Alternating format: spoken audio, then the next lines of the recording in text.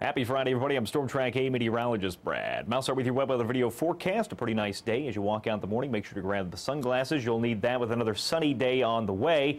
Uh, clouds will build back in this afternoon. Temperatures will rise eventually back into the upper 80s. And along with that will come our next chance for rainfall, but it's going to hold off until late evening into the overnight. Through lunchtime, still a nice day outside. Grab that lunch outdoors. Late tonight, the clouds start to build back in.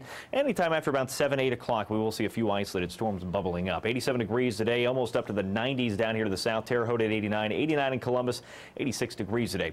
The high temperature over in Richmond. Working our way through the evening and overnight hours, here comes our next weather maker. And by early tomorrow morning, we'll see a scattered shower storm here and there. Better storm chances develop with a little bit more heat tomorrow afternoon. So not a complete washout. We'll get some dry weather here and there. Overall, though, pretty soggy start to the big weekend. By race day Sunday, the storm chances start to diminish. That's good news, but we will at least still have a chance for some showers. And as rain chances go down, those temperatures go right back up. 89 degrees for the second half of the weekend weekend. So pretty warm out there. One of the hottest Indy 500s on record on the way. Monday, Tuesday, we'll catch a nice break in the rain before things start to ramp back up by midweek. You can track all these rain chances and get this full forecast anytime at wishtv.com and also on the Wish TV weather app. Your Chapman Heating Cooling full eight-day forecast. Once we get past the wet weekend, Memorial Day looks pretty nice. Just a few isolated storms. Very hot, though, 90 degrees, 89 for Tuesday. Rain chances, potentially tropically influenced rain chances slide our way by Wednesday, Thursday, and Friday of next week.